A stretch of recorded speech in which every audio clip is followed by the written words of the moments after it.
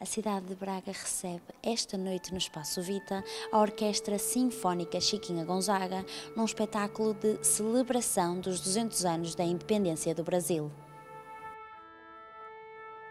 Então, que importância tem para a cultura do vosso país uh, este tipo de digressão?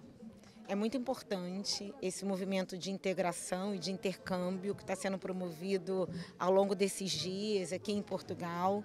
É muito bom ver as nossas meninas tendo essa oportunidade de conhecer uma outra cultura, de se apresentar em palcos portugueses, apresentando aquilo que a gente tem de melhor no nosso país, no estado do Rio de Janeiro, que é a nossa cultura, que é a nossa música.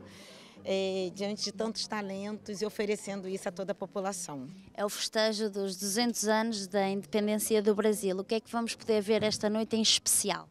Sim, nessa noite nós reservamos uma surpresa, trouxemos junto conosco, para além do espetáculo, o nosso passaporte do bicentenário da independência. Então, todas as famílias que vierem participar desse momento especial vão poder também levar um livreto para as suas residências e ali vão poder conhecer também os nossos patrimônios culturais que fazem relação com esse país e com a nossa história.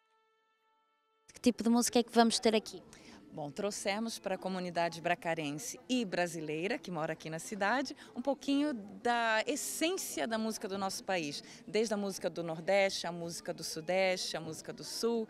Enfim, eu acho que vamos poder aquecer os corações não só da comunidade que já mora aqui, mas daqueles que estão longe da, da sua cidade natal, não é? E do seu país natal, digamos assim. Assim como eu, porque sou nascida aqui e saí daqui muito nova, com nove anos de idade, e hoje posso retornar com essa família linda de meninas comigo. E além disso, temos também esse intercâmbio com musicistas da cidade de Braga, o que alegra ainda mais os nossos corações, porque na verdade não queremos só vir mostrar a nossa música, mas queremos conhecer um pouquinho mais, não é?